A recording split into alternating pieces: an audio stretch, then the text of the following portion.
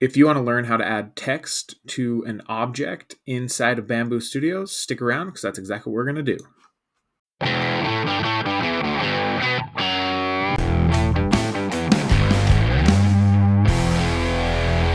Let's jump right in. The first thing I'm going to do is add in my shapes. So I'm going to use a simple right click, add mm-hmm. primitive, and I'm going to add in three shapes.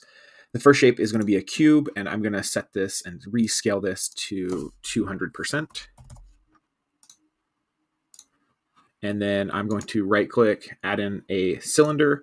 And again, we're going to rescale this to 200%. And the final thing that I want to add in is going to be a disk. So again, right click, come down to disk.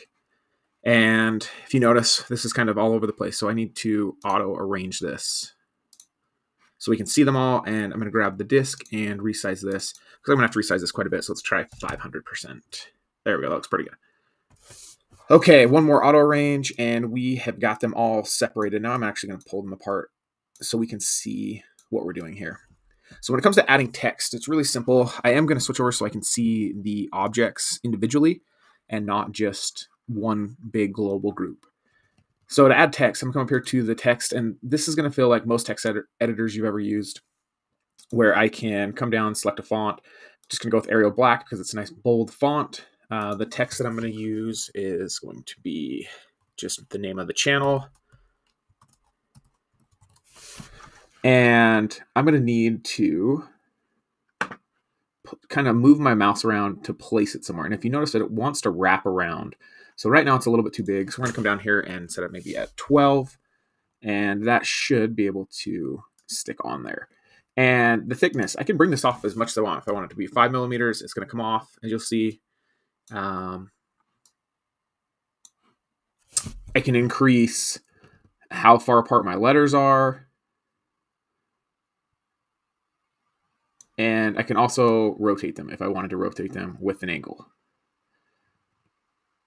So that is the easiest way to add any sort of text. If I were to come in and slice plate and zoom in, get this out of the way, you would see those letters are now attached to that cube. So that's one way to do it. The next way, we're going to jump over to this cylinder.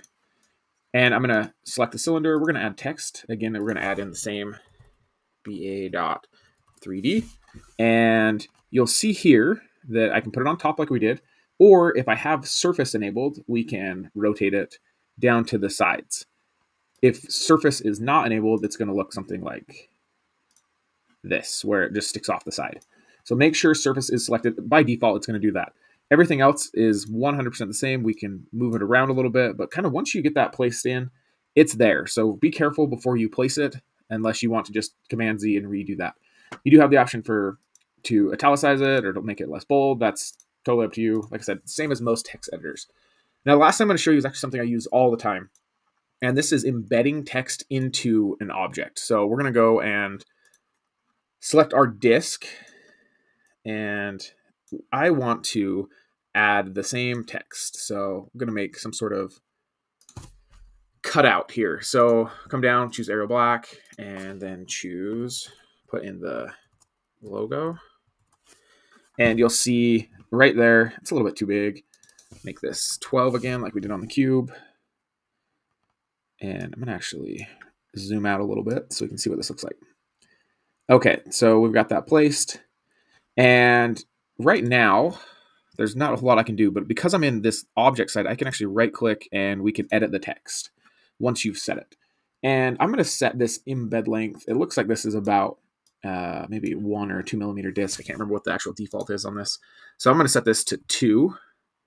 Um, and then this thickness, I can set this to zero. So right now it looks like it's just sitting on top. And we will say that we're done, click off of it. If I were to slice this plate, you'll notice that clicking down through the layers, let's get down to the disk here, that the text is in the 3D print. It would be noticeable if I printed this, but it would not be actually embedded into the disk. So if I want to do that, I need to come over to where it says text shape and right click. And once I right click, I'm going to come and say that I want to change the type and I want to not make it a part, but make it a negative part and say, okay. And now, if we've done everything right, when we slice the plate, it should completely cut that right out of that disc.